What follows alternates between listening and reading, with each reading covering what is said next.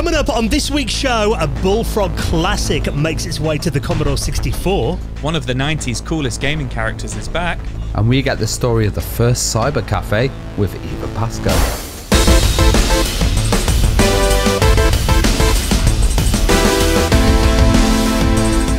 And the Retro Hour podcast is brought to you each and every Friday with our amazing friends at Bitmap Books. Now, one of my favourite books that they've released in recent years is Commodore 64, a visual compendium celebrating the best selling home computer of the 80s with some incredible games, really bringing them to life in all of their glorious 16 colour grandeur. You can check that out and the rest of their retro gaming collection at bitmapbooks.com and with PCBWay. Now, if you're working on a retro project right now, you know they're big supporters of the retro community and they offer so many services that could help you out, including custom PCB prototyping with low cost, fast turnaround quality boards, and they offer 3D printing and injection molding. To get an instant quote for your project right now at PCBWay.com. Hello and welcome to the Retro Hour podcast, episode number 387, your weekly dose of retro gaming and technology news with me, Dan Wood. Me, Ravi Abbott. And me, Joe Fox.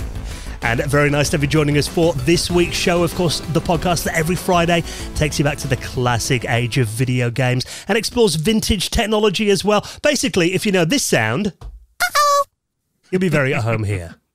Was that ICQ? It was Lemmings. you didn't know it, Ravi. Oh, was it ICQ? I thought it was Lemmings. That was no, ICQ. No, ICQ, yeah. Ah, I like this No, game. ICQ. ICQ. Well, that was a. Did you ever use ICQ back in the day, you guys? Oh yeah, I, I lived on ICQ. Um, it had this great feature of when you didn't have any internet friends, you could actually find a friend locally and um, suddenly join. And yeah, ICQ was actually um, one of the really early messaging services that worked really well. Um, you know, after IRC, of course. I was trying to think of my number because they were quite cryptic. I think it was like 195 84496 might have been my ICQ number. I did try to look it up earlier, but I think it's taken by some guy in Moscow now. I think ICQ is actually owned by some like Russian company these days. But interestingly, you know, Threads, that is obviously the hottest social media platform right now, um, which we are on. If you're on there, actually, search Retro Hour, we're on there.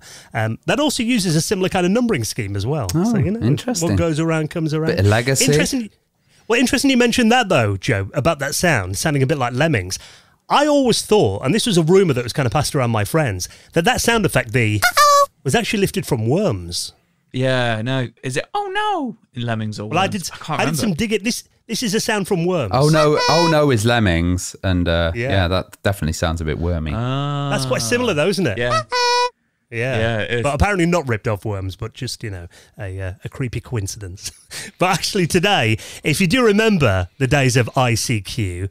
I've got a feeling you're going to enjoy this week's episode because we're going to be going back to the days of cyber cafes.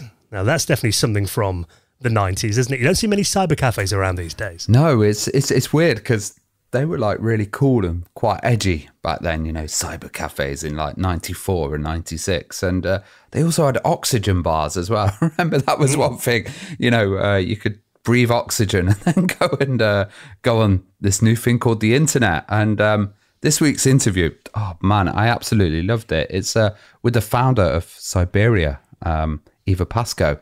And um, Cyberia was one of the first internet cafes in London. And It was the first. it was the first, yeah, and it ended up going abroad. So um, it expanded to uh, Manchester, Edinburgh, Dublin, Rotterdam, Bangkok, Manila, Manila uh, Tokyo, and Paris. And then, of course, after that, there were a lot of copies of these uh, cybercafes, and over 200 opened up around the world. Because I remember even in, I lived in Darlington in the northeast, you know, small little town up in County Durham. And I remember an internet cafe opening above a hairdresser's in around 95. And I remember going in there. And I think it was that kind of, that marriage of basically, you know, having a cup of coffee, sitting down in a social space and uh, having someone who would teach you how to use the internet. Because that's something that we take for granted today. Anyone can sit down in front of a web browser and know how it works. But back then, I guess having a real, in real person place where you could go and have someone actually teach you how this new technology worked was definitely something that was worthwhile having. Yeah, it makes me think, you know, maybe virtual reality cafes would be uh, something that they could kind of have nowadays. Uh, or AI cafes.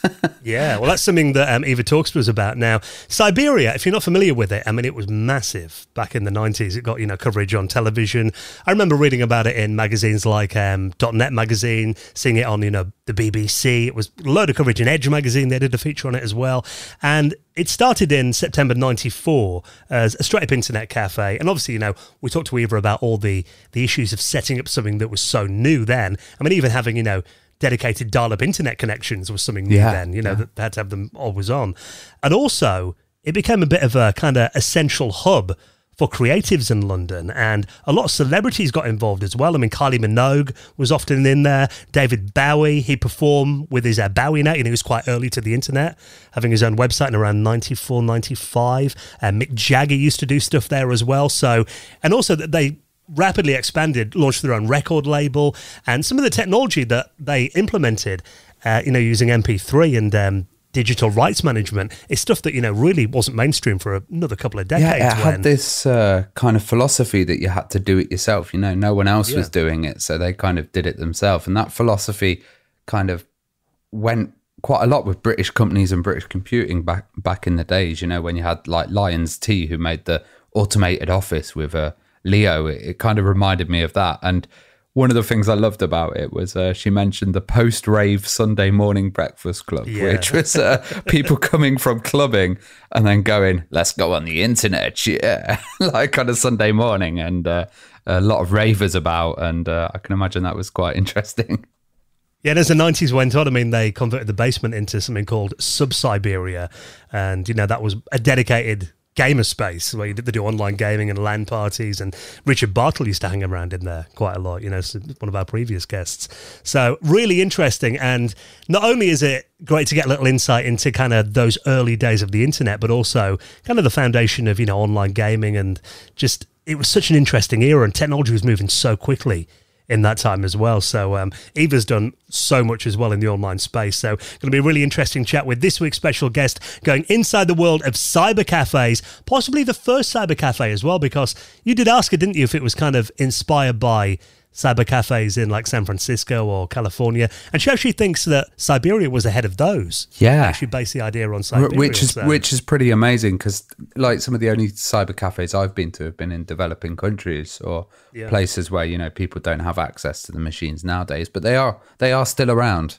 Yeah, it's going to be a really interesting chat with Eva Pascoe, our special guest. She'll be coming up on the show in around half an hour from now. Now, of course, before we bring you a guest, the first half of the podcast is all about bringing you up to speed on what's been happening in the world of retro gaming and technology from over the last seven days. And that someone from back in the 90s has made a comeback. Lock and load, little lizard. Gex is back. Gex is back, back again. Not only is Gex, there's a lot of people back, to be honest, but um, yeah, Gex man. So um, earlier this week, Limited Run had a uh, so you know Limited Run Games who do the they do the limited run games. They do like the physical copies of um, games. They re-release a lot of like 80s and 90s games or games that come out digital only, and then they release them, you know, physically like 2000. Yeah, they're all about the physical, aren't they? They're all about the physical, most often on the Switch, sometimes on PlayStation, sometimes on Xbox as well. But they had a showcase earlier this week for like what's coming in 2023 for them. And they've announced 25 games. Um, and there's some really interesting, you know, games in there. And the one that's kind of got our attention is the Gex trilogy. So, you know, I know you you're not too familiar with Gex, are you, Ravi? But it has the original f- three Gex games on there, which I think were uh, just Gex, Gex 3D, and then Gex.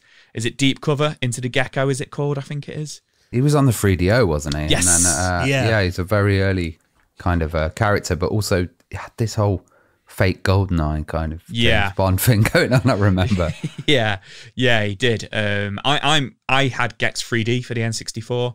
I've since got the original Gex, which came out on Sega Saturn and PlayStation after it kind of flopped on the 3DO. Never played the third one, which is the the James Bond one. You know, the kind of Gex. I think it's called Undercover Gecko or some, something like that. But yeah, this is coming out on all platforms from limited run, so it's going to get digital releases as well as a physical Switch release by the looks of things. Just in 2023, it says at the moment. Well, if it's um, I'm going to tell a right dad joke. Here we go. if if it's physical, then you can get Gex at sex, can't you? get Gex at CEX, yeah, maybe. Yeah, really, really excited for this one, just to kind of revisit those games and you know see how they've held up or if they're as bad as people say they are but like I say, see, weirdly, you say you say that as bad as people say they are. I did see a list actually, and I'll link up the article on uh, RetroDodo.com. Mm. They actually put Gex in their top twenty PlayStation One games of all time. Oh, there you go. I mean, yeah. I'm not too familiar with the original one. Gex 3D it held my attention. I played it quite a lot for the N64, but I see a lot of people hate on it online. Don't see too much love for it, but um, definitely one I'm going to be playing. But like I say, one one of 25 games announced. So I'm not going to sit here and list all 25. Um, but are you a big pl- fan of Plumbers Don't Wear Ties, Dan? I heard this game is uh, coming back again. It's interesting because I saw this all over Twitter last week, and obviously. I wasn't familiar with that game originally till AVGN's video, mm. which I think introduced a lot of people to it. It was a, uh, I mean, it wasn't even an FMV game; it was still images, it was not it, images, on the, uh, yeah. uh, the Philips CDI?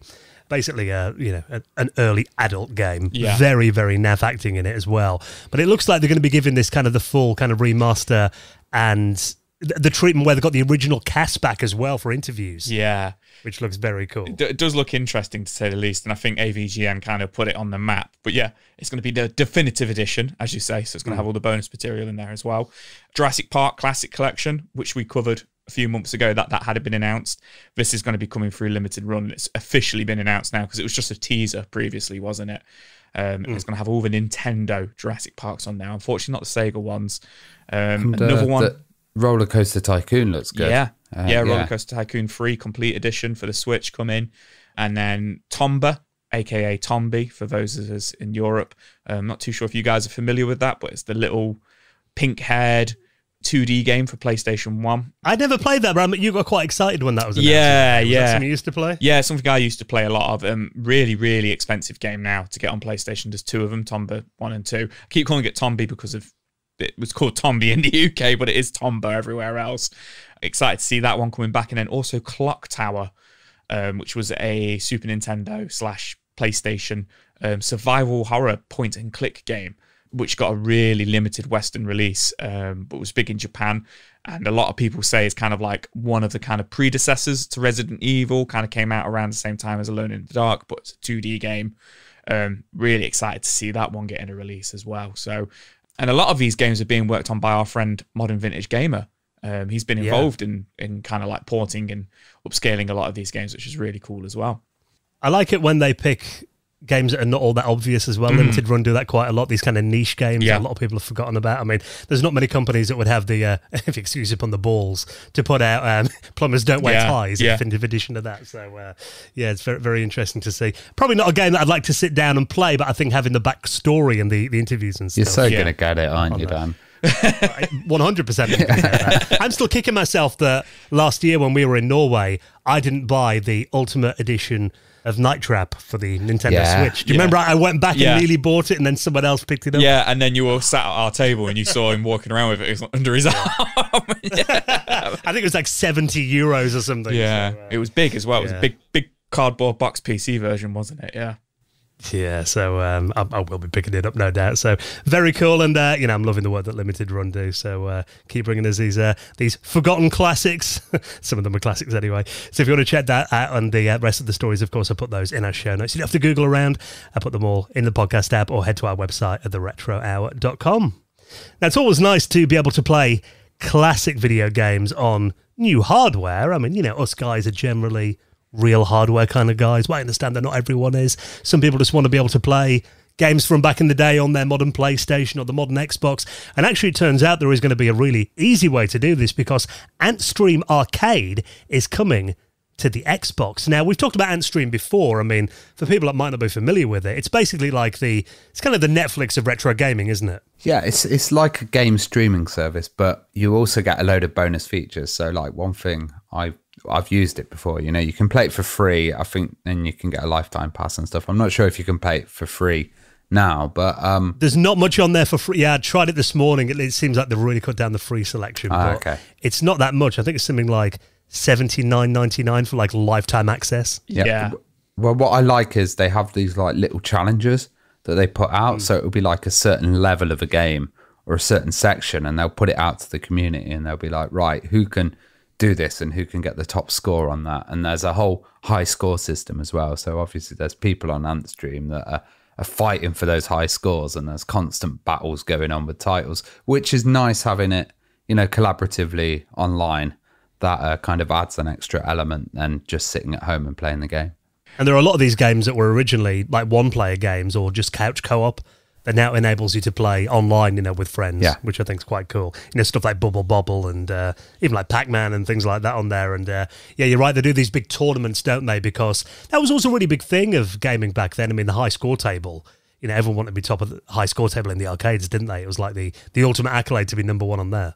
Yeah, yeah, and that, I love that kind of thing about it and the little kind of community because some of the challenges on certain levels are really tough, and they also make like little custom versions just for Antstream.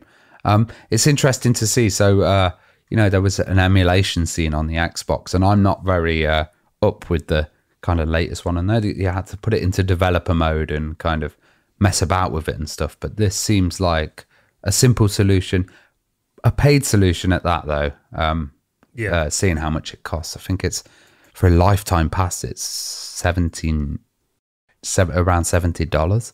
Yeah, like I said before, seventy nine ninety nine for lifetime, or you can pay twenty nine ninety nine for annual membership. So, in terms of cost, I mean, I think you know for the amount that you get on there, I mean, there's thirteen hundred retro games on there at the moment. So, I mean, you you pay eighty quid, and if that's lifetime access, and that covers you on not only your Xbox but also PC, Mac, Linux, Android, Android TV, Fire Stick, Samsung TVs. You can use web browsers on your computer as well. So I think for people that you know haven't got the original games, they don't want to mess around with ROMs and setting up emulation. I think it's a good deal. I know um, Joe's got an Xbox, and I'm wondering, is this something that would appeal to you? Yeah, you know, you know when I first saw this, so I saw the article on Radio Times and it said, you know, 1300 retro games are coming to Xbox and some of these games are going to be PlayStation, Nintendo games. First time these have ever been ported to Xbox. And I was like, wow, okay, what's this?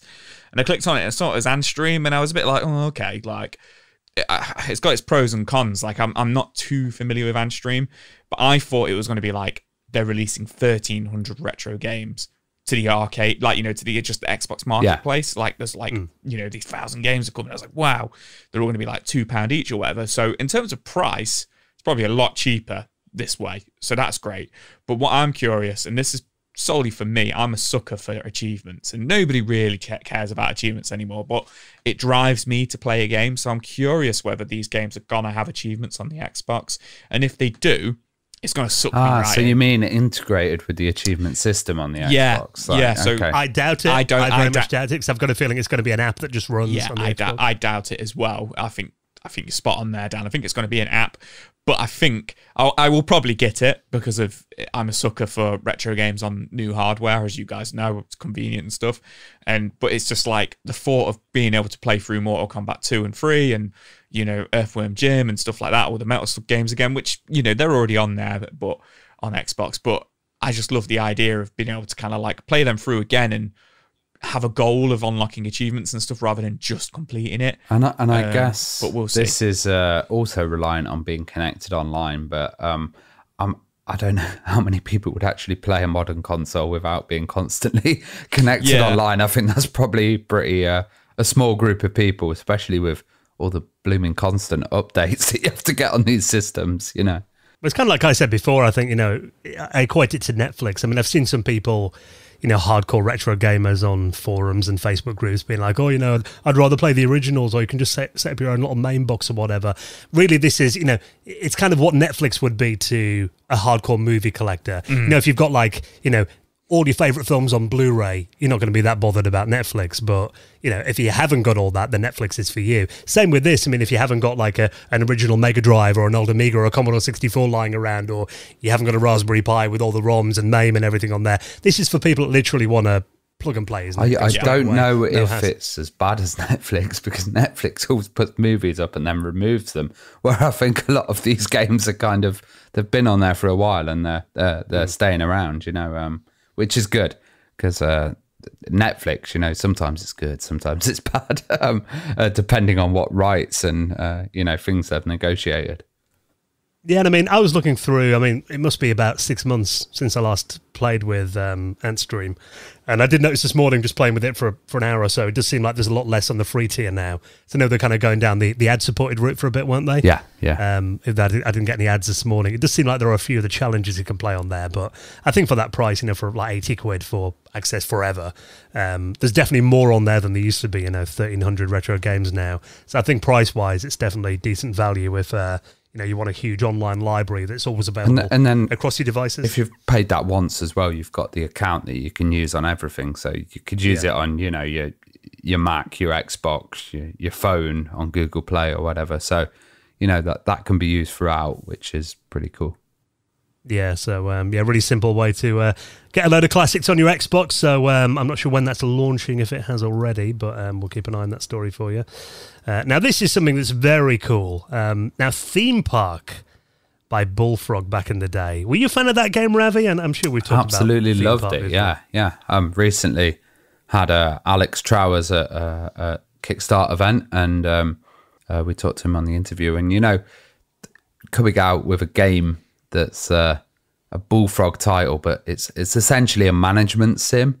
You know, back then that wasn't that kind of popular concept. People were like, hmm, you know, they weren't quite sure of it. But I think theme park really made it fun, and um, you know, you think doing stuff like increasing the kind of salt content so people go and drink more and then uh, you know stuff like that wouldn't be fun it sounds very boring but actually it's kind of good and uh, I, I love the whole idea of theme park but seeing this on uh, the commodore 64 is a, a hell of an achievement really Well, this is not officially theme park, although it is in all but name, um, obviously to avoid copyright reasons. This is a game that's called Funfair Inc. Now, this is, I mean, looking at it, it is very, very, very.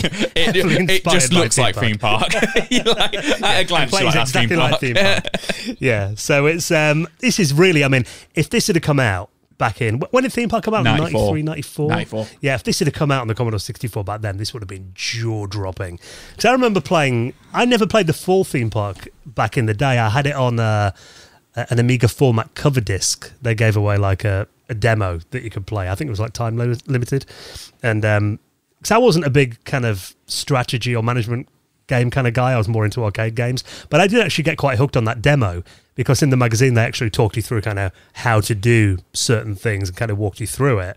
So I did get quite hooked on that that one level demo of Theme Park back in the early 90s.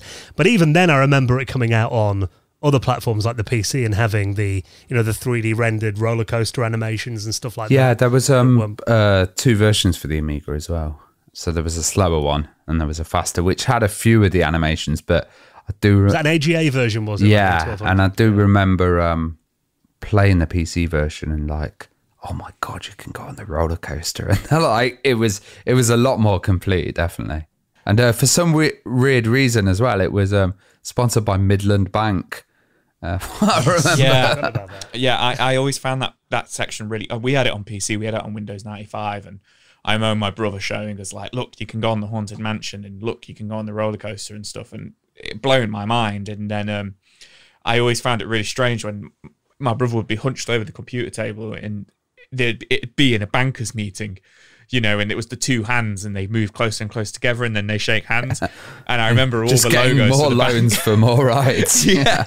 And I remember thinking like this game looks so strange and boring and then playing it and like you say, Dan, getting hooked on it. But mm. I mean, I would have been about six, seven years old when we were playing that. I could never get past the first like you buy a ghost train and a carousel and then my theme park would close down. But yeah, this is incredible. This Funfair Inc. for the C sixty four. You've got It- 32 rides on there as well as 20 shops and attractions. That is insane, to be From fair. what I'm seeing with the like demo and stuff, they seem to have most of the actual features in there. Yeah. Like m- hmm. most of the options. Obviously, they've got a very small section of the theme park that they're running, and it, you know, with the C64's power, they've got so many like little characters in there that I can imagine it will get overwhelming. And uh, it was quite tough on theme park anyway when you had lots of people in the park and you know being sick and running around and you had to have caretakers and stuff like that. But I can imagine just the power of the C64. If this was a full one of the really huge big parks, I can imagine it would it would struggle. But from what I'm seeing here, it's incredibly impressive. And uh, you've got stuff like even the rides breaking down, which was one of the features where you had to get an engineer to come out. Um, you've got staffing cleaners and stuff. You haven't got as much details about like the attitudes of the staff and how they worked. And, you know, when you had the hiring process, you had stuff like that in the game. But um, the essentials are there for me, definitely. Yeah, and the amount of sprites they have on screen mm. as well with all the customers and the stuff and, you know, the, the rides breaking down, the flames, you know, with the, with the set of fire and things as well and the vehicles going by. And, you know, they've got the um, the user interface down the bottom, you know, point and click. I'm looking at this. I mean, it looks like it's joystick control at the moment. It would be nice if they could, because I mean, you can use a mouse on the Commodore 64. It would be nice if that was implemented because it always feels like these games are a lot easier to play with a with a mouse and a joystick. Um, that's you know, just a little minor thing there, but I mean, yeah, this does look incredibly impressive and uh, pretty complete as well. I mean, if you want to go to, um, I'll link it up in the show notes up there, itch.io or itch.io um, site, you can download the preview of it now um, for free. It's a PRG file, so you can play that on um, your Commodore 64 with a, an SD card reader um, or write to a floppy disk. Um, no word on, you know, if or when it's going to be a finished game. Yeah, he's he's, he's basically saying uh, at the moment, you know, um, he he hit a brick wall with motivation yeah. uh, to do it. So um, he says, unfortunately, unless I get in a position where I can do my own thing all day, every day, I don't see having uh, me having the time or energy to finish it. So um, he says the code will be available for anybody that wants to give it right. a go. So you know we'll see how this project goes, but um, he's he's kind of set it up as a sandbox so people can play around with it and try and break it and you know have a bit of fun. But great that he's going to put the code out there as well. Yeah, I mean, it looks like he's done most of the hard work already. So I mean, it would be great if yeah, you know, a few people can just kind of pick this up and finish it off. Because uh, yeah, definitely one of the most impressive Commodore 64 games I think I've ever seen. So uh, that's called Funfair. If you ever want to play uh, Theme Park, uh, but not Theme Park, of course, on your Commodore 64, that is available to download now. Now, just one final story before we hop into our chat with Eva Pascoe. Um, we always love seeing these uh, new additions to the Game Boy because there seems to be a lot of uh, hardware made for the Game Boy recently. But this is um, something new. This is a, a cartridge reader and writer device called the Burnmaster. Yeah, this is by uh, Funny Play Inc. They're called, or just Funny Play Inc. But how their logo reads is weird. Um, they've launched this this week, and it's a very cheap, legal alternative versions are kind of like downloading ROMs and stuff like that. So the full setup, it's a bit strange. It only costs $30, but it comes in like three pieces. So you can just buy the little kind of like cartridge slot reader, but then you can buy extra parts um, that kind of build it up to look a little bit like the bottom half of a Game Boy. Um, mm. And then you plug your cartridge into the top of it. And it's got the D pad, the A and B button, and then interestingly, a one inch OLED screen on there. But what it is for is for it is a cartridge reader, so you can download the ROMs from the games from official carts onto your PC. It lets you do you know a couple more things, you know, save your game data and stuff like that, or interestingly, burn ROMs onto cartridges, so you can re- re- rewrite cartridges, mm. or you can write onto you know, onto blank cartridges. So that was the most interesting bit for me because basically you can make your own carts for yes. your Game Boy. Then, yeah, essentially. Right. And there's a few of these things out there already, but this is just a cheaper alternative. And like I say, the full setup, twenty-seven dollars, so under thirty dollars. But you don't have to buy that. You can just buy the cartridge reader for twenty dollars, and then it's another four dollars and like another three dollars on top of that if you want to have um, all the segments to kind of make it look, you know, the all singing, all dancing version. But yeah, interestingly, apparently you can play the games on the one inch screen as well, um, which I don't fancy to be honest, because the screen's at the bottom of the reader. So it's kind of like underneath yeah. the buttons.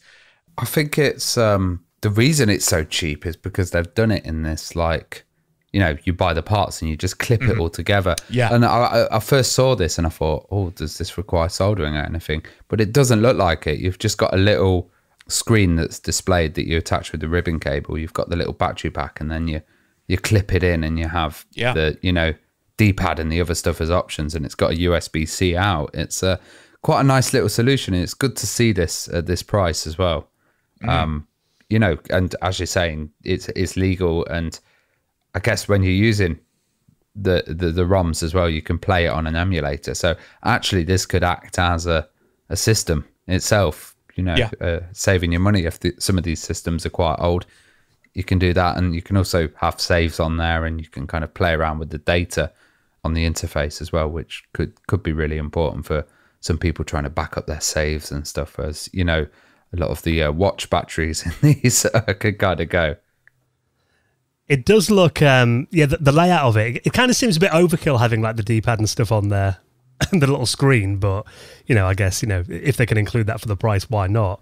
Um, like you said, the layout a little bit strange, isn't it? You kind of your hands are going to be covering up that screen. Yeah. You think when you when you're there on the D-pad? Yeah, the article here on a Retro Dodo kind of says can't imagine many people actually playing their Game Boy games on it. Yeah. Um, but I think if you could be a challenge though. it would be a challenge, but I think you know if you were like an indie dev and you were you know or you know you're kind of not so much a Kickstarter. I was going to say doing a Kickstarter for a Game Boy game, but say you've made a Game Boy game and you wanted 20 copies of it or something, you know, and you're willing to burn them yourself onto blank cartridges and sell them.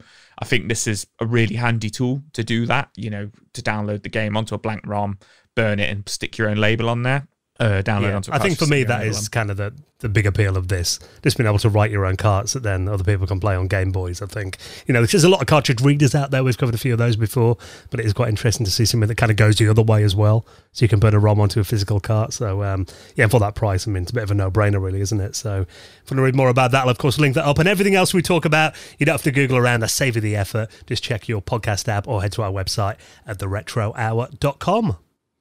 Okay, this week's very special guest going inside the world of cyber cafes with Cyberia co founder Eva Pascoe. She's coming up in just a minute. Before we do that, let's take a moment to give a big thank you to this episode's sponsor. And it's always nice to welcome our new sponsors to the show as well, particularly when they offer something as impressive as this. And this is our friends at Notion. Now, Notion, to kind of explain what this is, because I mean, it's really powerful, it's a single space where you can think, you can write, you can plan, you can capture thoughts, you can manage projects, you can even run an entire company and do it exactly the way that you want to do it. Because, you know, we all work with different clients and, you know, we all, have different jobs in the day and we do different things and we all have to collaborate with teams. Just have a think, for example, I mean, you might be a good candidate for this, Joe, and I definitely am. Think about how many tools you currently use in your day job. Maybe how many different services you pay for each month, and then trying to make these services talk to each other can be a nightmare. I mean, it could be, you know, maybe Google Docs, and you've got your email, and you have to sign to Microsoft Teams, you've got Dropbox, Trello, Discord, Figma. It goes on and on, doesn't it? There's so many you've got to keep track of. you're actually selling it to me as you speak, to be honest, because I'm thinking of my morning routine at work right now.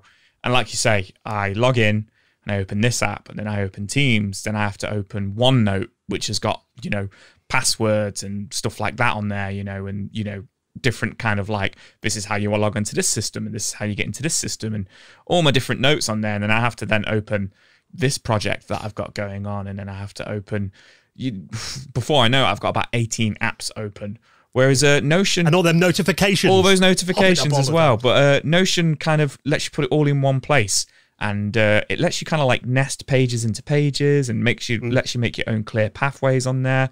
And then you know you can make it private, or you can make it you know collaborative.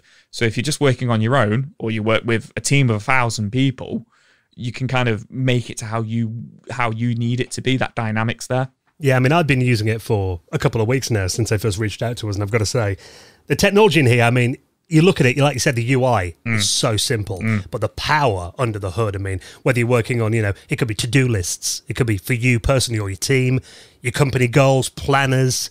Product descriptions, marketing plans. You can embed images, videos, make gorgeous documents that you can even publish to the web if you want. It could be like your team Wikipedia in there, product roadmaps.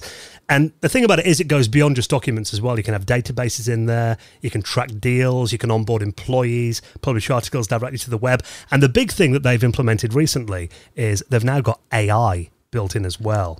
So that's built into all of their tools on there. So that means, you know, across your notes, your documents, your planners, and you don't have to hop out to a separate tool because, I mean, I've used ChatGPT for about six months now, and normally I've got to hop out of like the my email composer and hop into that and ask it to do something. But with Notion, it's all built in, so it automates all those tedious tasks that you got doing your day job while you focus on the things that you're good at. So it can help you with brainstorming, first drafts. It can even turn your messy brainstorm, which if anything like me, I often open documents and just try to you know do a brain fart and just write loads of stuff in there.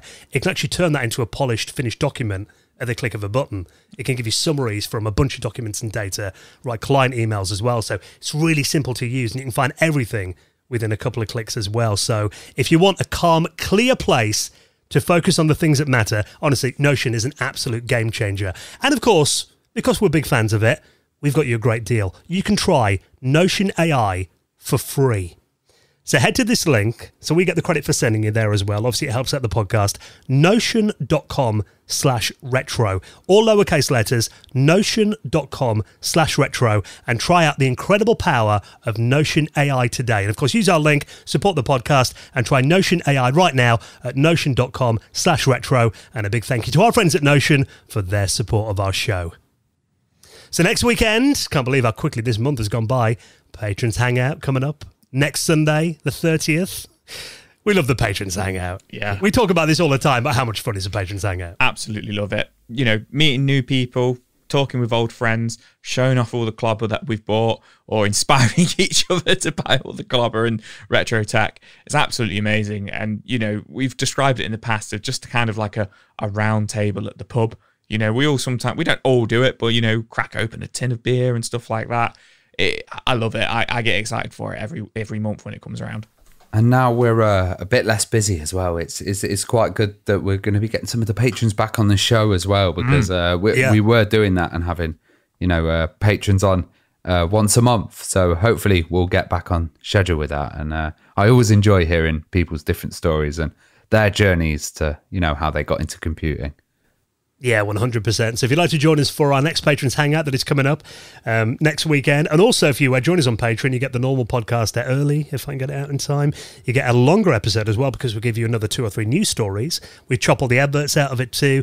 And uh, also, if you join us as a gold member above, you get access to our bonus monthly podcast, of which we've now done 36 episodes of, and that is called the Retro Hour After Hours. And the latest episode could be the most controversial one to date. We talk about overrated video games. Yeah, that was a that was a tough one. yeah, one one or two kind of like you know, yeah, that's an obvious one, but definitely one or two um, shockers in there. I think all three Uh, of I'm us had a still bit of a not talking to Dan. We see that there's been a bit of activity in the uh, the Discord this week. People go, "What? I can't believe you said that." And on the Patreon page, some people agreeing though as well with uh, a few of those controversial choices. So if you join us as a gold member above, you unlock that all 36 episodes as well. But really, the reason for joining us on Patreon is to help us keep the lights on and make sure that we can bring you the podcast each and every Friday. And we have some new members to induct into the most prestigious high score table in the world of retro gaming, the Retro Hour Hall of Fame. Hall of Fame. And a big thank you to our latest members, Just Great Ideas, Dylan Sainsbury. And John Lundy. who all backed us on Patreon over the last week. We massively appreciate your support. And if you'd like to do the same, all the details to join our wonderful Patreon community are at theretrohour.com. Okay, next, going inside the world of cyber cafes with our special guest, the co founder of London's first cyber cafe, Cyberia, Eva Pascoe, is next on the Retro Hour podcast.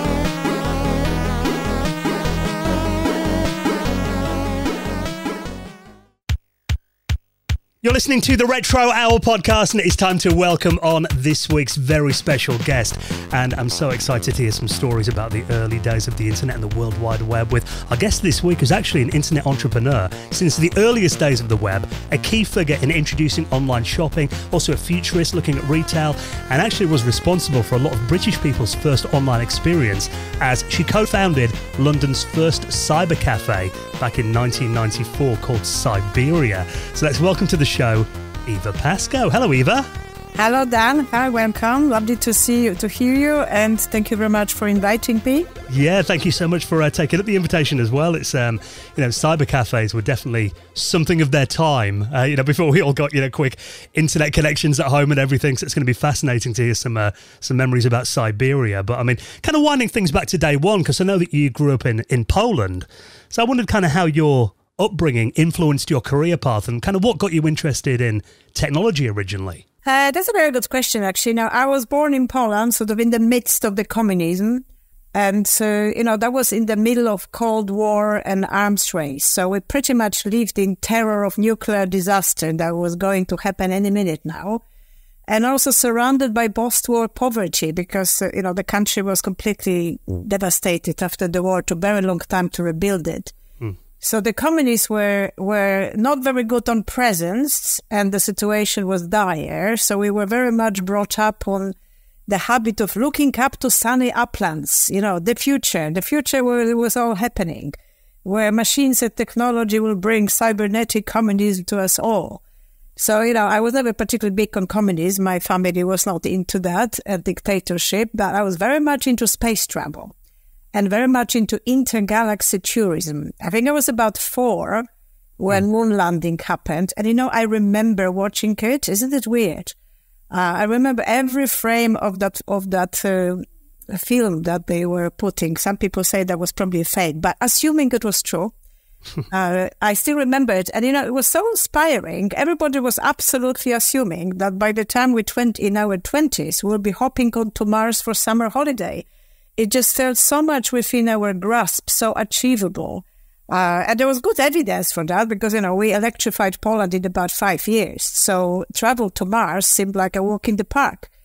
So that was kind of my framework. And I also learned to distrust tech on the other side because, you know, at that time, uh, Poland was um, automating the agriculture. And my grandfather was a leather merchant. He supplied saddlers uh, for horses for agriculture. And, you know, suddenly in the period of about three years, the tractors arrived and horses disappeared. So basically the business collapsed, everything collapsed, and millions of people lost their jobs in a very short period of time because looking after horses was, was a big deal. And then suddenly the tractors didn't really need anybody, just a driver and one mechanic.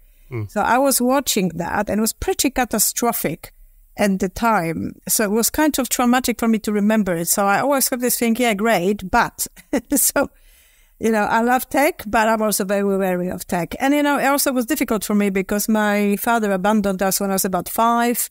My mother developed very severe mental health issues. We had zero money. So what can you do? I escaped into reading. I was absolutely devouring sci-fi.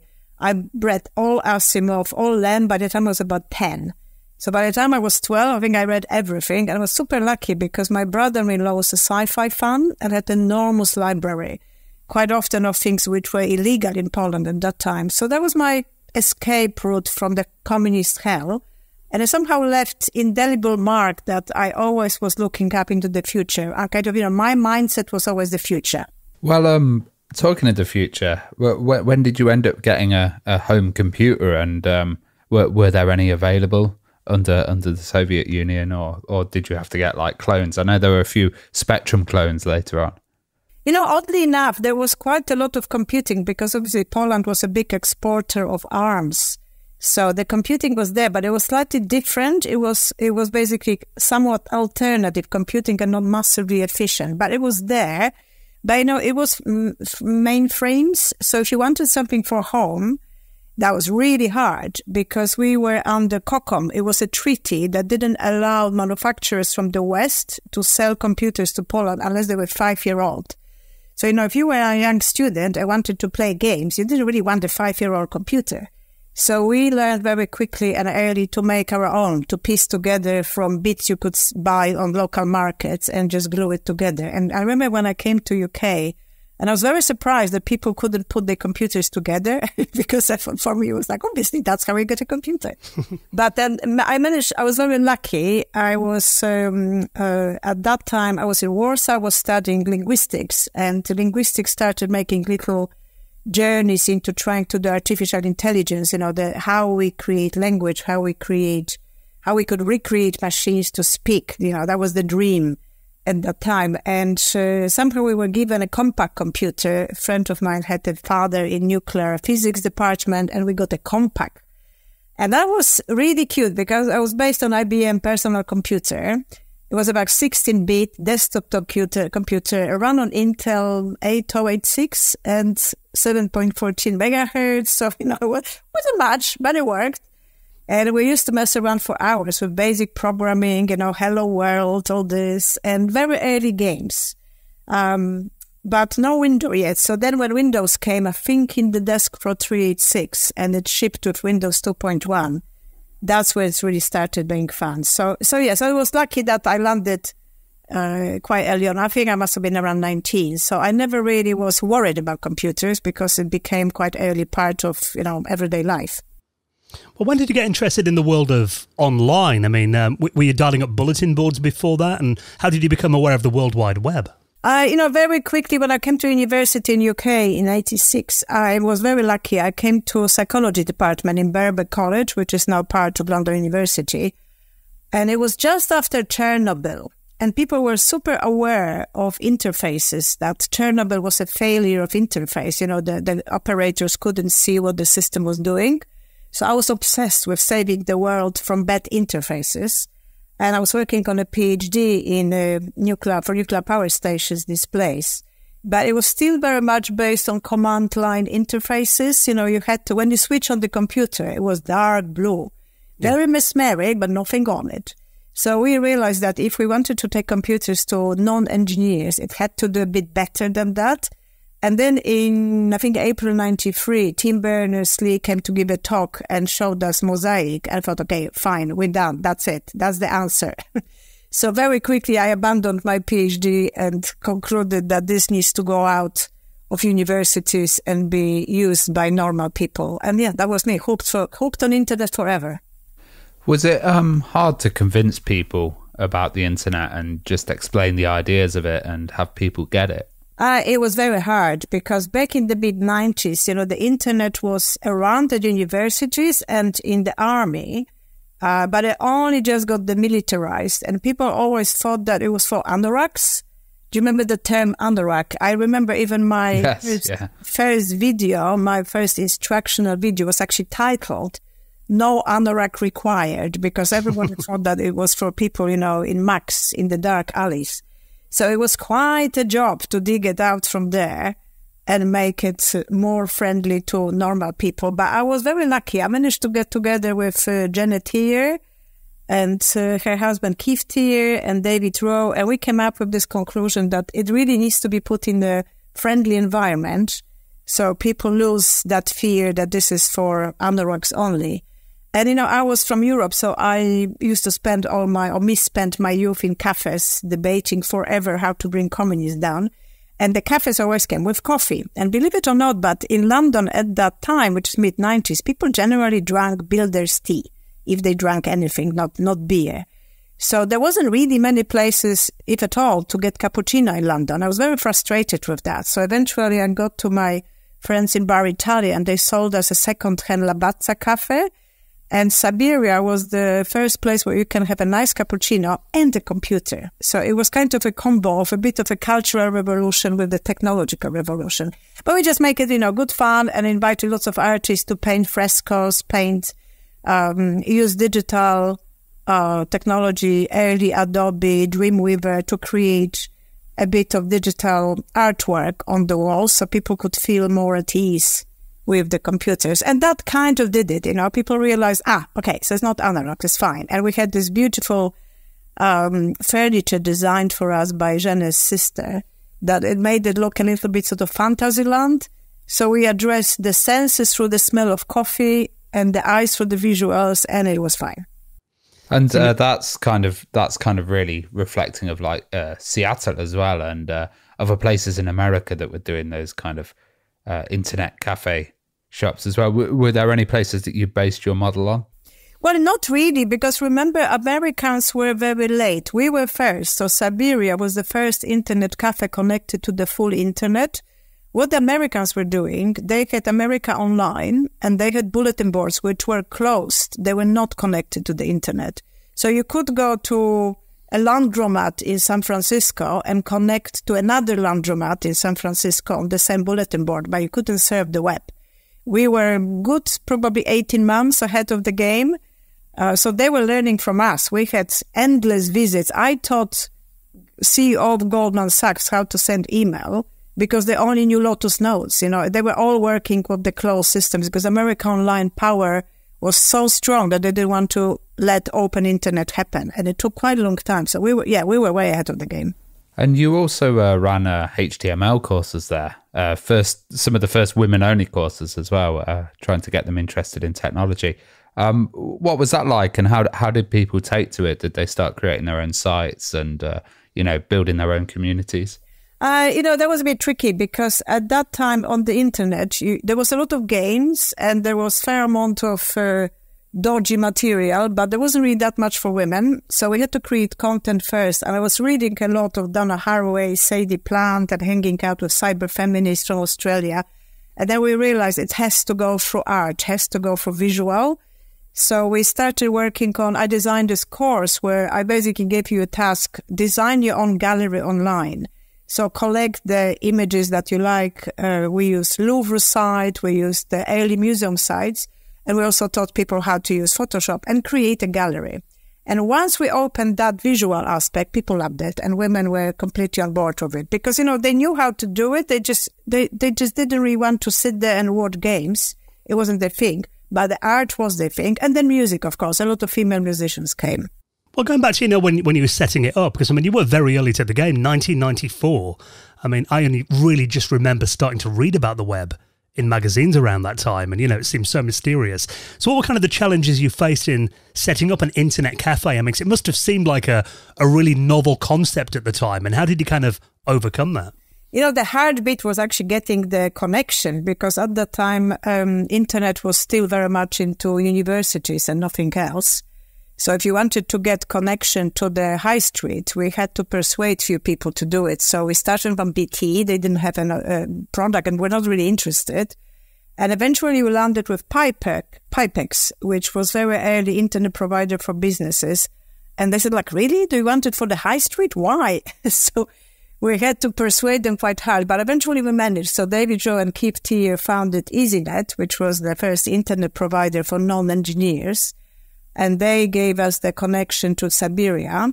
So technically that was solved. And then um, the problem was we couldn't pay the bills because initially Cyberia was not profitable because if you can imagine, we were making coffee, money on coffee, but we had to replace the keyboards pretty much every week, all the keyboards, because people would spill coffee. They would put some crumbs on it and nothing ever worked.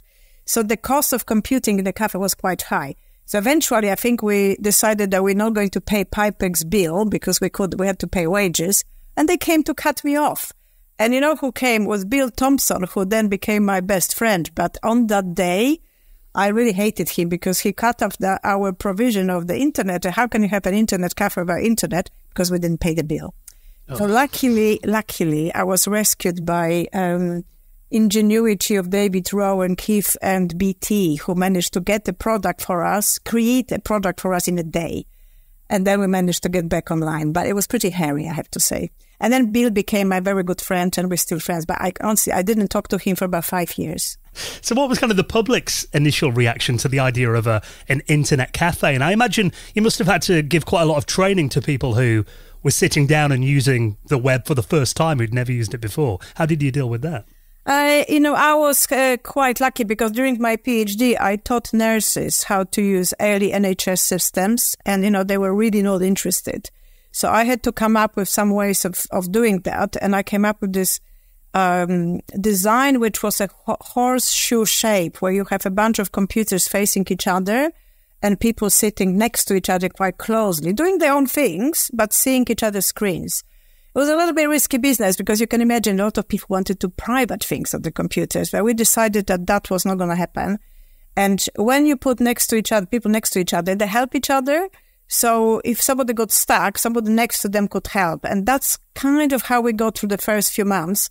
And then we were making a little bit more money. We designed this also of cyber hosts when we had people who were helping a little bit more like training. But, you know, by then the interfaces came, become easy and it was pretty intuitive. It's just that first year was really hard because my email, first email package was Eudora, and that was a hell of an interface. So you really wanted to send that email to get through it. So it was a bit tough. But um, the easiest thing was to do with uh, music. You know, musicians were the first, and Mick Jagger was my early investor, and he brought quite a lot of people with him who were interested in what does it mean for musicians? How can they use it? How can they spread the word? How can they distribute the music?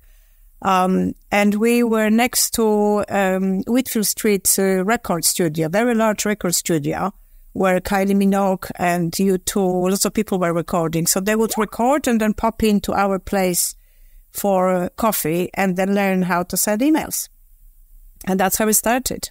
How, how was the uh, environment designed to foster collaboration and learning, uh, especially in those early days? You know, um, were people sitting around and kind of being encouraged to talk?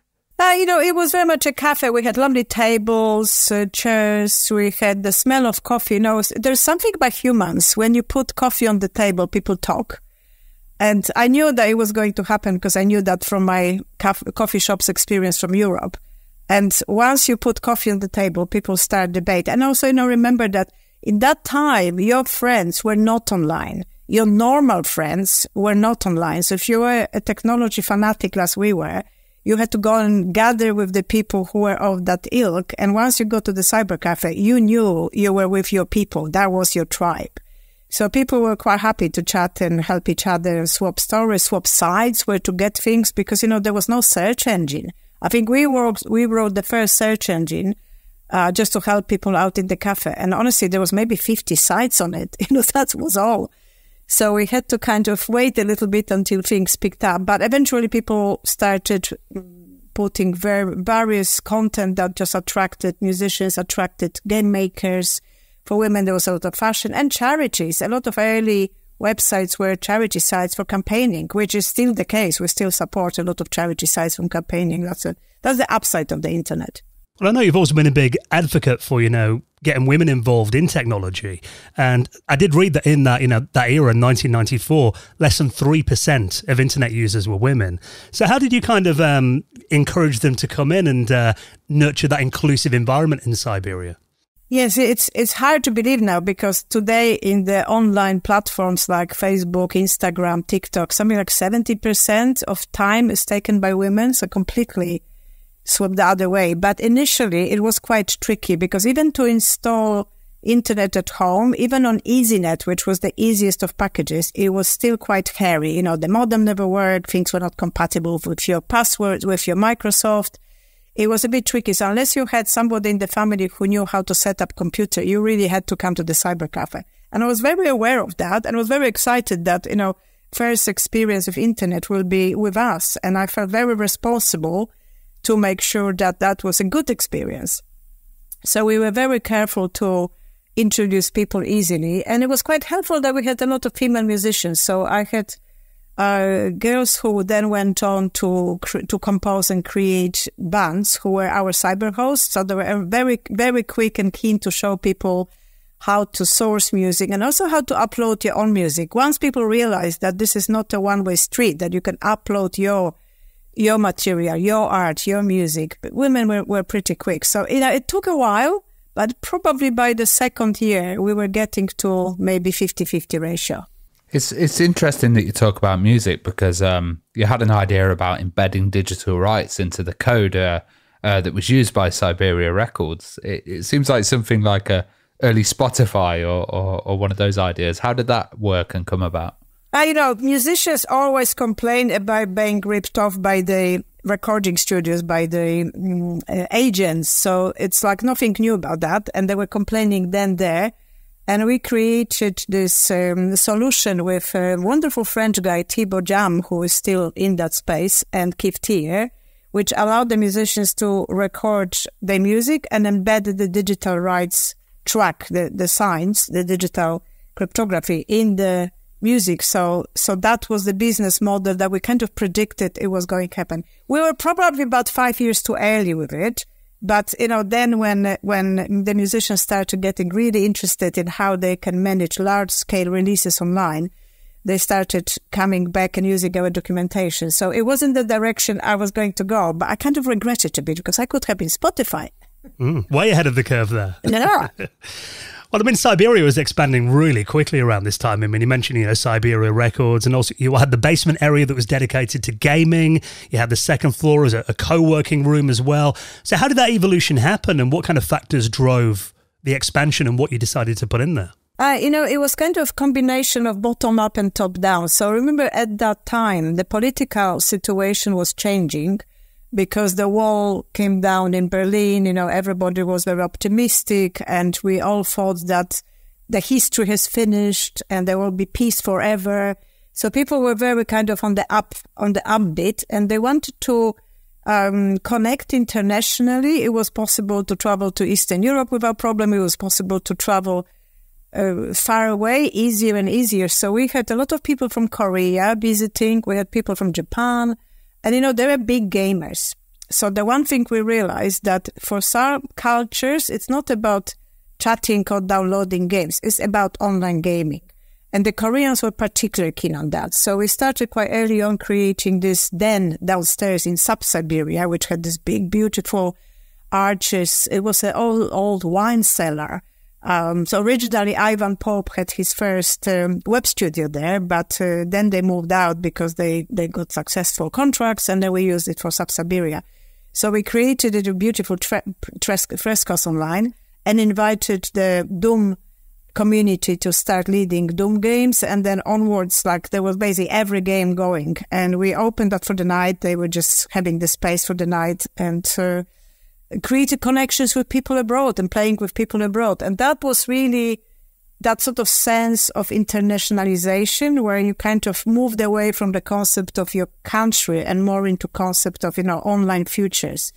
I think that's, that was the most exciting part about it. Well, you received a lot of coverage on, you know, TV shows like uh, BBC's The Net and uh, magazines like .NET and Edge magazine as well. I mean, did it feel like there was a lot of excitement around the internet at that time culturally? Because I know for a lot of people, it just kind of seemed like it came out of nowhere. Then all of a sudden, like, you know, late 94, 95, it was suddenly making headlines all over the place. So did it feel like, like there's a lot of excitement around it then? Yeah, it was incredible. You know, I ended up on the second page of Vogue somehow. It was so big. So we then ended up hosting Newsnight. I think I did three or four news nights uh, hosting question question time. So it was really big. And the, I think the reason was because we were so ahead of America. America was still in the depths of America Online, AOL, and they didn't realize what was out there. So a lot of American media came. It's like, how is it possible that the little place in London is ahead of the game? So I think that was a big, big factor in it that we were first. And also we were opening the cafes at a very fast speed in big uh, metropolis. So we opened in Paris, in Saint Pompidou. I was very lucky there because my architect, Bernard Blauel, managed to persuade Rogers and Piano to let us design completely different concept. It was very industrial, very sort of, you know, metal rock place, which was not quite in line with what Rogers Piano were hoping for the Saint Pompidou. But it was amazing. So a lot of French people came. Uh, then we went to uh, set up in Tokyo, in Roppongi, and in Bangkok, Sukhumvit. So, you know, we had this network of like underground youth culture, youth movement, and everybody just wanted to connect and be international. So the press loved it. But, you know, there's more to it, I think, because if you cast back in mid 90s, UK was coming up with a terrible recession. You know, people are panicky about interest rates now. You know, when I started my first business, the interest rates were 15%. And by 1994, they were rapidly coming down to 8%. And people thought that that was really cheap. So it was, it was beginning to be possible to get a loan for business before the banks would never loan anything. So there was a lot of entrepreneurial spirit about. And I think that was the exciting part. Well, um, you even offered a, a, kind of pioneering dating service as well, um, which was launched in 1994. How, how did that work? Oh my God, that was so exciting. But again, you know, that was because if you were online person, everybody else looked at you like you were slightly mad. So if you wanted an online romance, you had to find it in online spaces. So we wrote that with, with Thibaut and Mike Rogers and I think Zoe Camper, this lovely site called Rencontre in French. Um, and you would put your favorite games, movies, your favorite computer types, your travel destinations, and it would match you with a similar person. So we then even hosted a wedding on CU-SeeMe, which was like a very, very early Zoom. I think it was about 1996 with the vicar was in Cyberia, groom was in US, and the bride was in uh, France. so people met, married, and the rest is history. Well, I mean, you mentioned before that you had some very famous visitors to Cyberia, Kylie Minogue, U2 David Bowie. I mean, have you got any memorable experiences of their visits? And how did these big stars react to the concept of an, an internet cafe and, and the technology? Uh, you know, very different actually. Like Kylie was recording in Whitfield Studios next to us, so she came for coffee. And nobody really noticed her because she's so tiny. Like, I don't know if you've seen her real life, but she's absolutely tiny. Mm. So at some point, the, the, I was in the cafe and the bar uh, tender said, I think she looks like somebody we might know.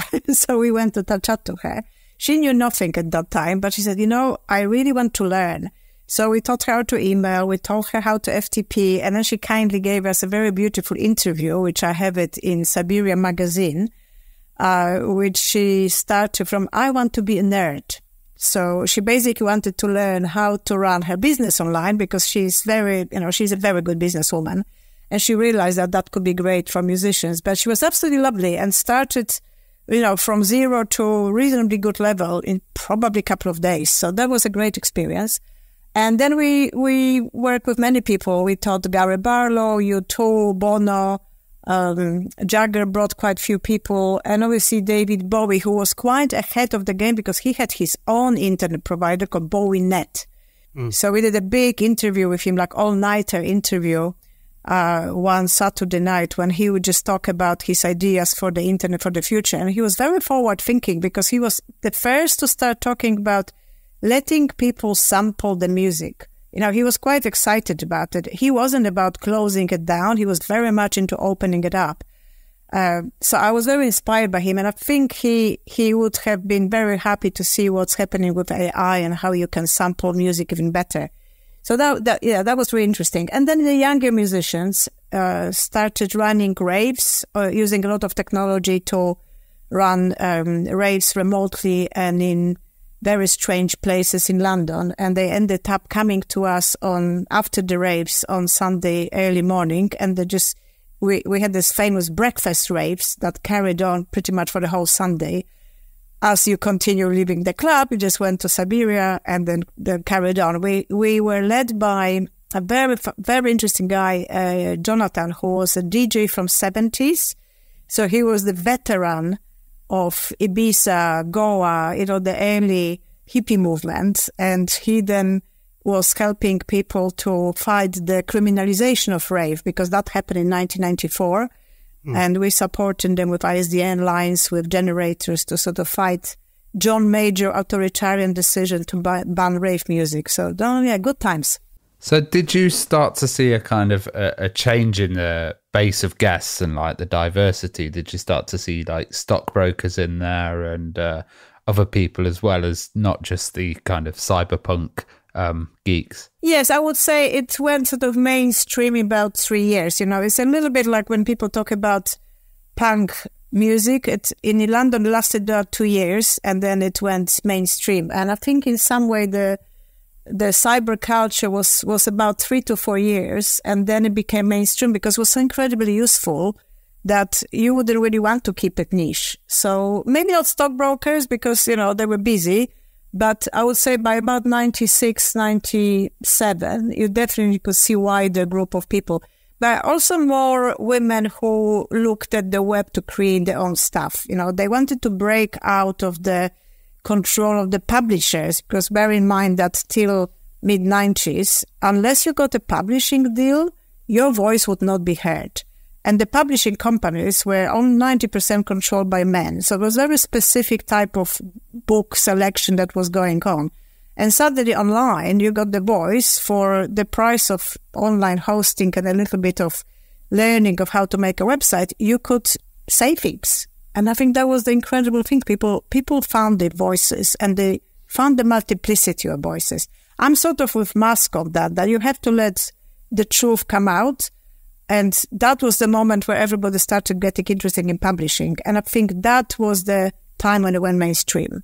Yeah, I mean, you mentioned those HTML courses as well. I mean, we were people publishing things on you know platforms like GeoCities and Angelfire. Were, were you kind of helping them with that in, in the cafe? Well, we had our own uh, online Cyberia bulletin, uh, and then we were supporting people who wanted that sort of online space for their communities, particularly charities or, you know, campaigners.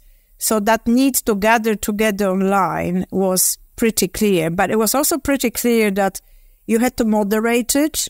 And I was actually, I have to say, I was pretty shocked when I realized that Facebook decided not to moderate and just let people read. Because like if you kept it to UK, the tone of voice online was pretty mild and pretty, you know, people are incredibly polite in, in England, uh, in, in Britain. But the problem was that Americans were not. Americans' online culture was very aggressive, very much in your face, very conflictual. And this did not really went, well, it was very difficult to manage. And I think the, the lessons from for me was that I didn't want to get involved in that because I didn't want to be a moderator.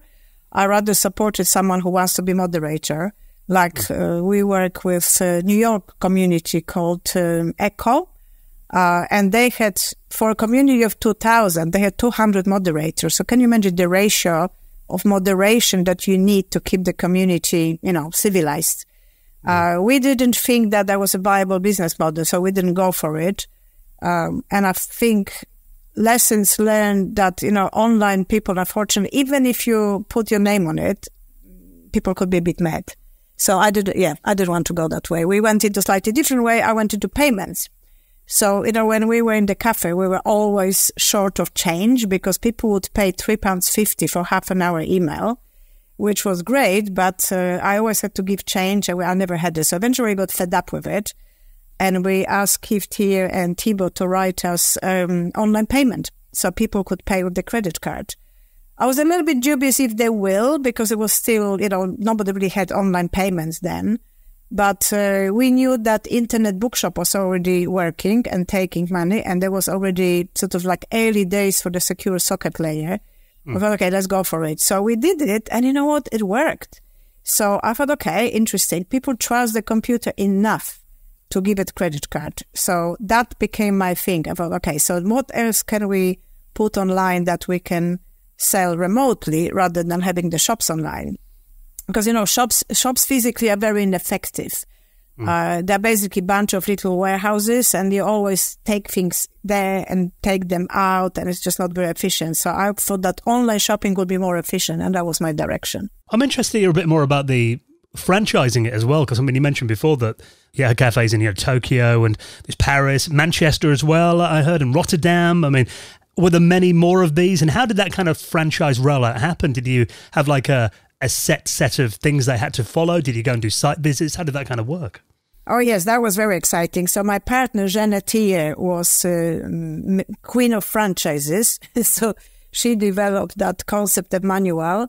Uh, and it was quite, yeah, it was very successful. We rolled out in Paris. Uh, the the fun one was Rotterdam because that was with uh, Richard Branson. He was opening a Virgin Megastore in Rotterdam, which is a fantastic place, not least for music.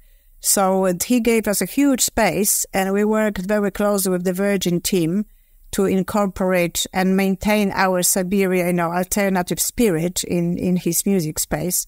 Uh, and it was good fun, actually. I met him quite a few times there and I learned how they roll out. I mean, Virgin is basically, it was all franchise. They, they, he doesn't like spending money. He always takes somebody else's money. so he just gives them manuals. So we kind of picked it from there. Uh, and we then met an amazing franchisee in Japan. He was this lovely Japanese guy who was trained as a chef in Paris and became Michelin chef and wanted to add Cyberias to his empire. And it was just so much fun because, you know, in Tokyo, if they don't like the building, they just take it down. So he took mm. down one building, built it up back in Cyberia and created this beautiful four floor cyberspace, you know, very Blade Runnerish, kind of very Blade Runner aesthetic, but it was so fun. Um, yeah, so we, we grew that way because, you know, we grew very fast. So once the genie was out of the bottle. Everybody wanted to have Cyberia on the streets. Everybody wanted to be walking distance to Cyberia because it was still hard to put together the modem at home. You know, it was still hard to keep your line up. It was still hard to get through the sign up system. So people relied on the internet cafes for good 10 years. You know, I remember I thought that this business is only for a year because surely by 1996, everybody will have a laptop. You know, I was completely convinced on it.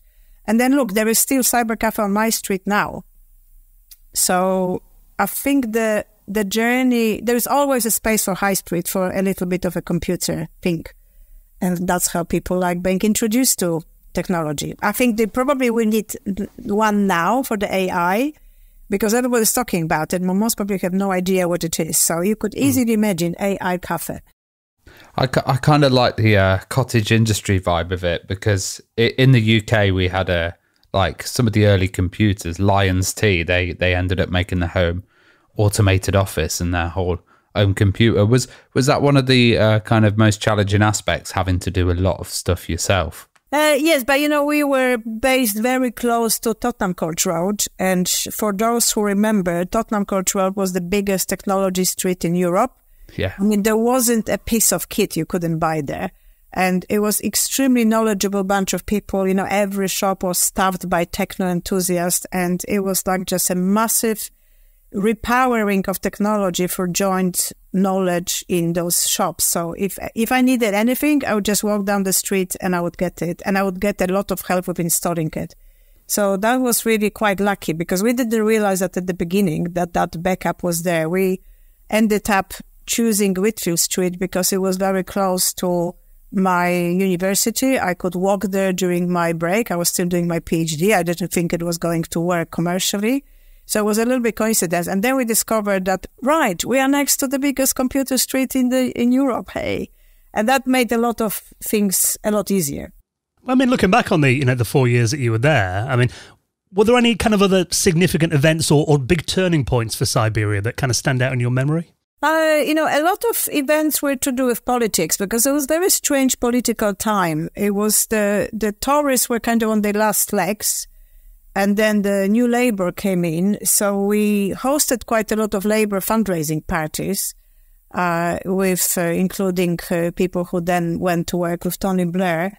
Uh, and supported that change, you know, as hard as we could because Tory dictatorship, as it was then, was very unpleasant. It was very unpleasant for technologists because they kept banning things.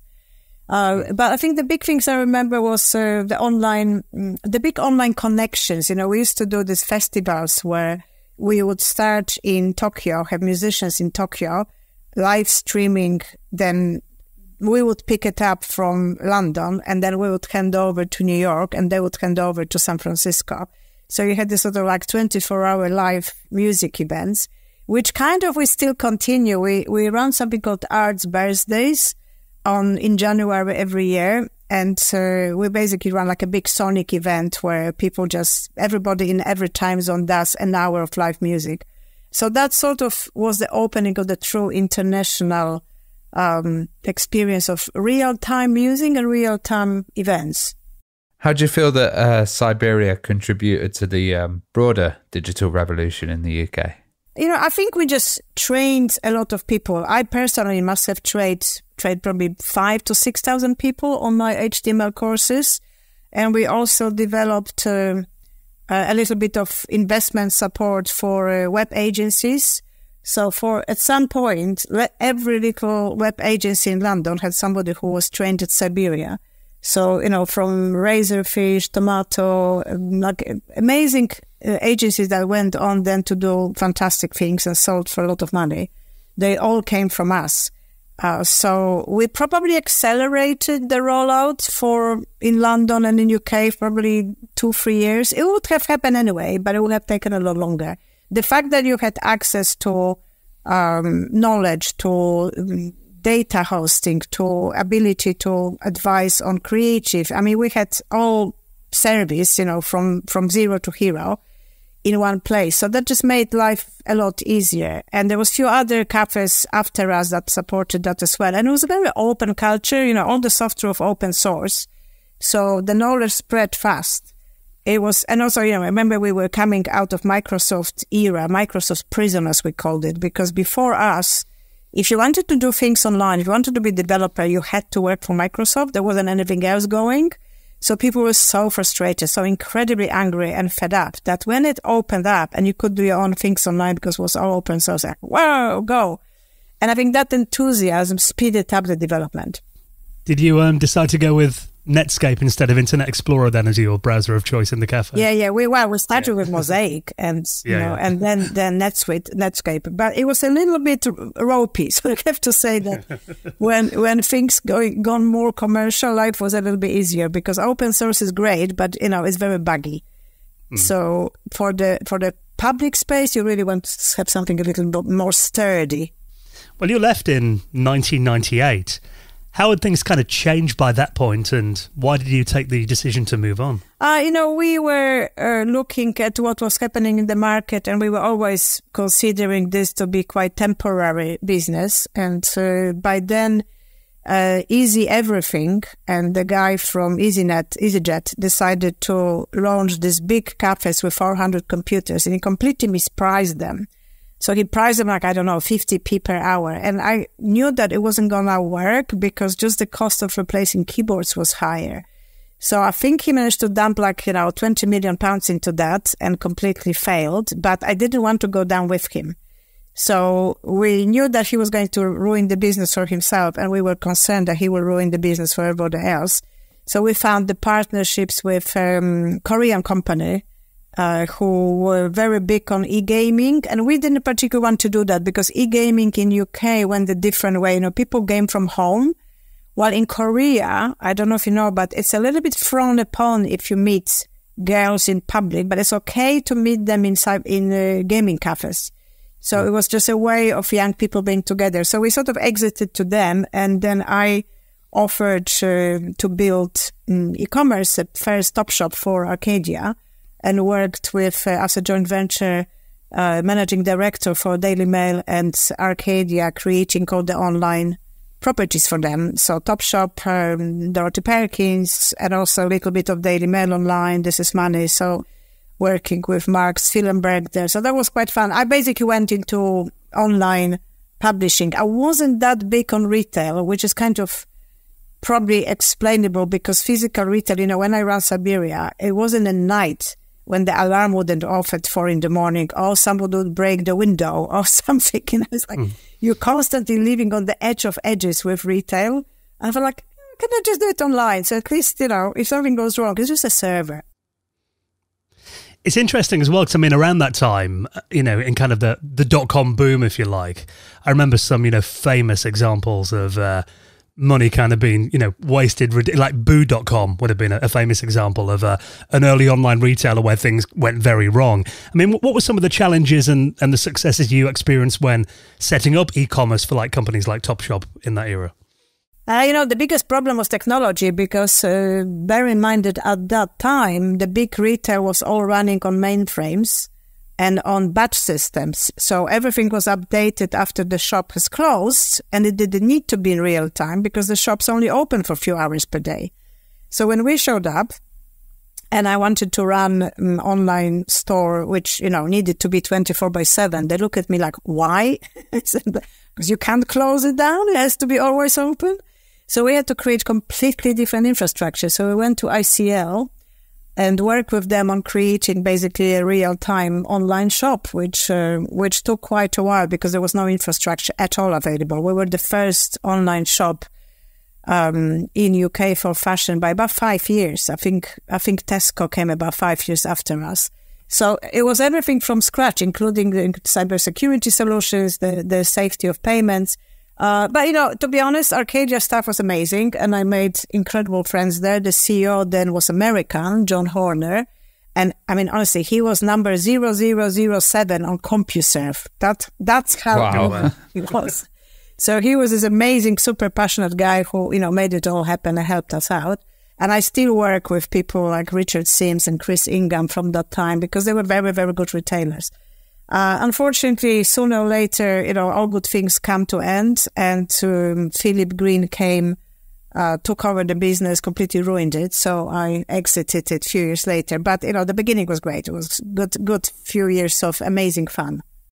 Well, uh, back in 1999, you predicted uh, that mobile phones would be used for browsing, going on uh, daily commutes and uh, kind of shopping. Um, that prediction's definitely come true. Um, but uh, not many people saw the connection then. Um, what was your thinking behind this prediction and uh, how did you see the technology evolve?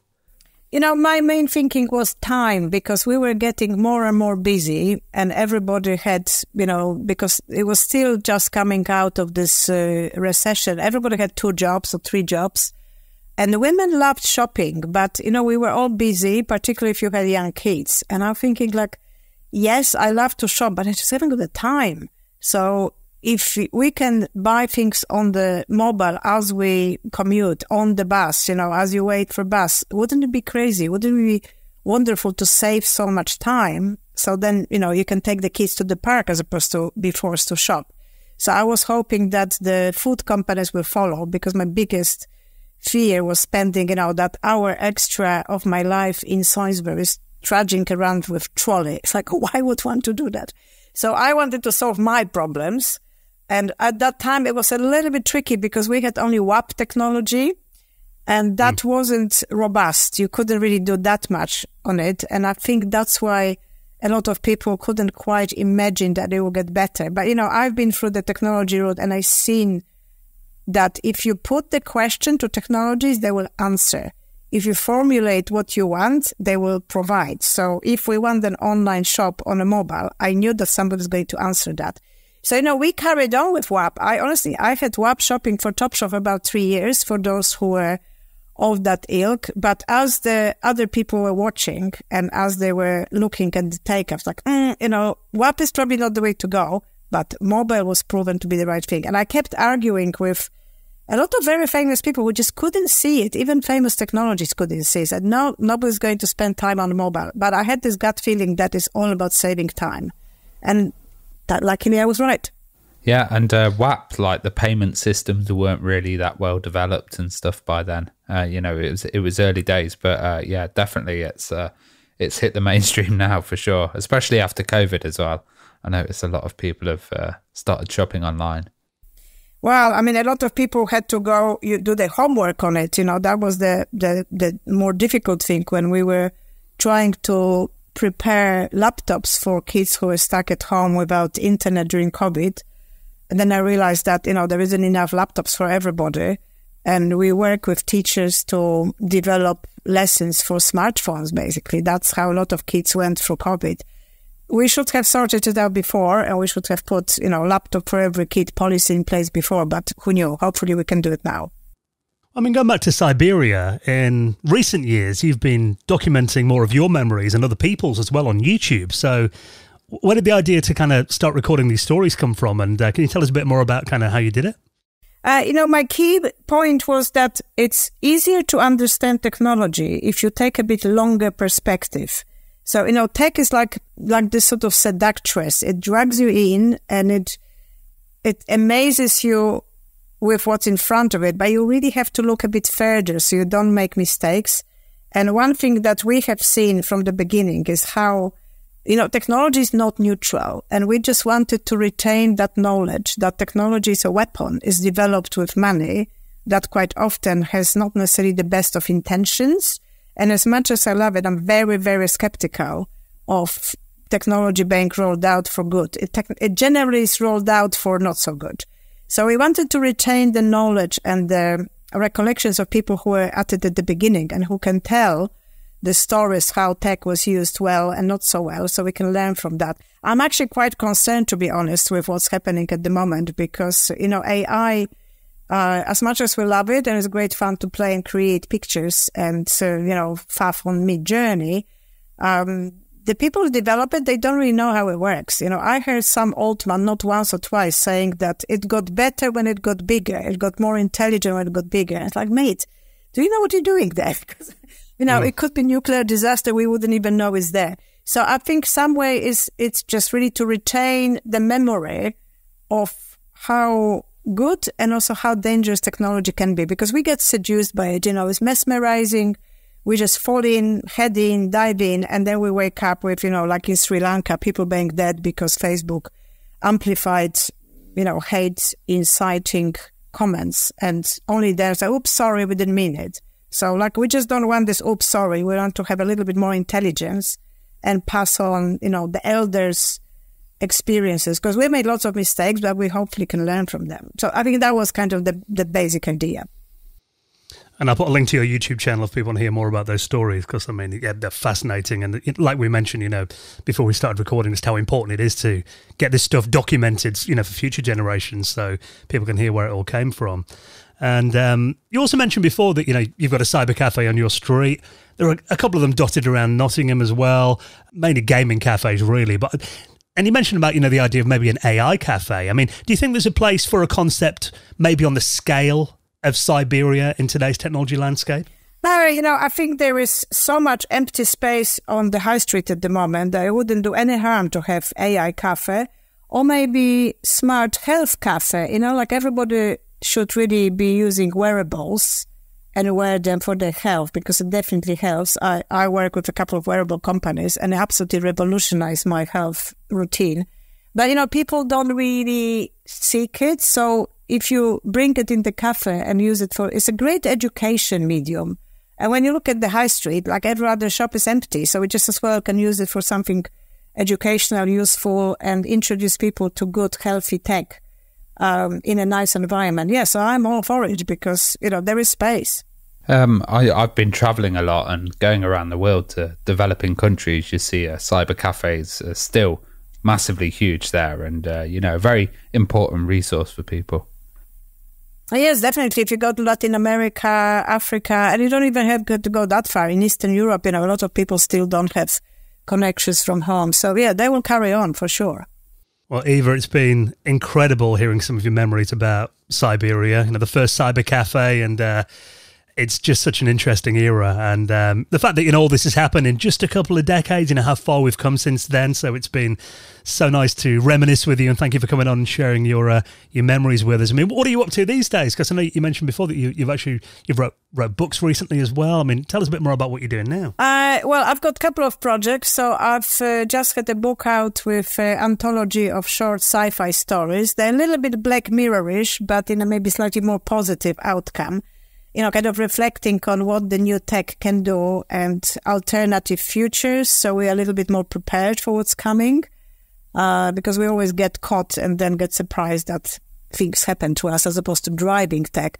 I particularly want to in- increase number of women writing sci-fi stories because that that voice and their experience, um, it's it's badly needed. You know, we don't want to be in the receiving end on the visionary. We want to be the visionaries as well. Uh, and the second project, you know, I started, I've rebuilt the Cyberia in VR. So we've got a very lovely Cyberia in virtual reality and we're hosting events in it, music events, live streaming, book launches. So we're sort of slightly, slightly um, moving to beyond 2D to 3D. Uh, because I think everybody's sick and tired of Zoom and they would massively benefit of having opportunity for everybody to, to experience virtual places. And it was quite fun rebuilding it. I work with a PCM creative agency from uh, Nottingham, actually, uh, on recreating it. So based on the actual Cyberia So I've got to show you after the uh, show because it's so much fun when people come to the virtual Cyberia who actually came in the physical Cyberia they immediately get it. And, you know, the psychological moment of reveal is just so quick. And people who've never been to Cyberia before say, ah, that's what it looked. So it's just great fun. So I'm going to develop that a little bit more. And I'm working with Shopify on virtual shopping because I've done, I brought Shopify to UK about 10 years ago. And now we're sort of looking at expanding that to the next uh, stage of virtual shopping because I think physical shopping is not going to be happening on the high street. It's really the high street will be the wellness street where we do things for wellness, you know, massage, pedicure, but the actual physical shopping for physical goods will be done in virtual reality. Well, it just feels like that's the natural evolution of Cyberia to eventually end up in cyberspace itself. how, how, do people get access to that then? Is, is it open for people to uh, Well, we run it on events basis, but it's in on spatial I.O. and we have a number of environments. You know, we can teleport from the foyer to the Cyberia, then to galleries. So we're building a little little kind of equivalent of Lit- Whitfield Street corner just behind Tottenham Court Road. And hopefully I can recreate a little bit more of that and remind people how Tottenham Court Road was the biggest tech street in Europe.